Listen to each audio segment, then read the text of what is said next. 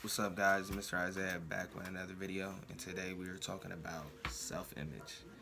And what self-image means is just uh, how you view yourself, how you feel. And um, I hope that's a, a good self-image. I hope you have a positive self-image, you know, because there's some people that don't have a positive self-image of themselves, you know. And if you know somebody that doesn't, I just encourage you to, you know, help them out, you know.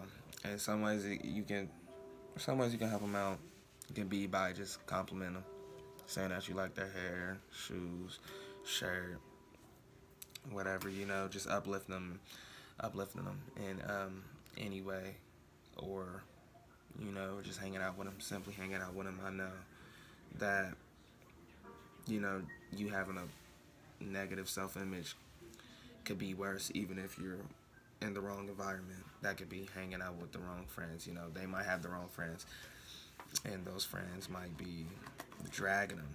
You know, just being real rude to them, and that's not okay. You know what I mean? And that could really hinder somebody. You know, just having a low, um, having a negative self-image. You know, low self low self-esteem could really hinder somebody from being their best self, and you should only want to be your best self. Um, and you should want other people to be their, their best self too.